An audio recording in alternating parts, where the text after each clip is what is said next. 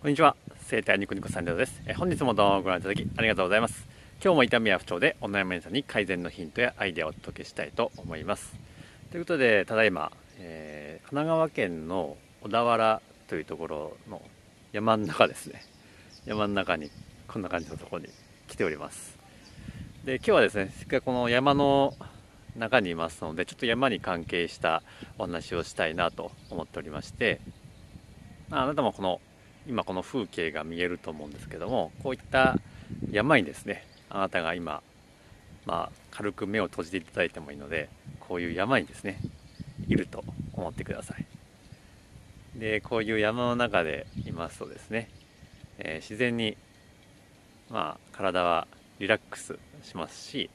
えー、普段はスマホあなたもスマホを見てね眉間にしわ寄ってたりとか、えー、いろんな家事やあるいは仕事をしてですね一生懸命なっている。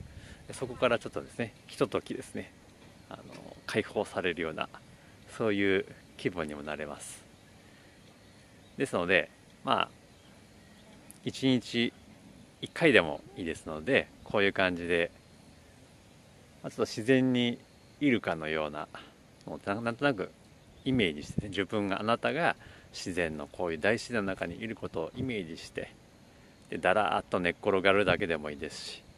こういうイメージをしながら露天風呂に入っているような気分でですね寝ていただあのお風呂に入っていただくのもいいですしそういう風にしていただくとですね、まあ、お家、まあ、こういう大自然に来ることは普段あんまりないかもしれないんですけども、まあ、それだけでイメージするだけでも結構体っていうのは変わってきますのでそれだけでもですねリラックスします。でマッサージを受けたりとかいうことでも体っていうのはえーと、リラックスするんですけどもこういう自然の中にいるってことだけでもですね体っていうのは結構リラックスしてですね自律神経でいうと副交感神経が働きますので、えー、こういうのをですねちょっとイメージしていただくというのをですねあの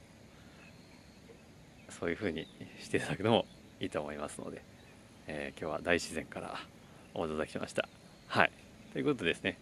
えー、まあ体もそうですけどもこう視線ですよね。視線もこう遠くが見えると結構この目の周りですねおでこ周りこの辺も結構リラックスしてきますしどうしてもお家の中にいたりとかあるいは家事なんかをしてるともう目の前のことしか見えないのでそうするとですねあ目の筋肉も、えー、緊張しますし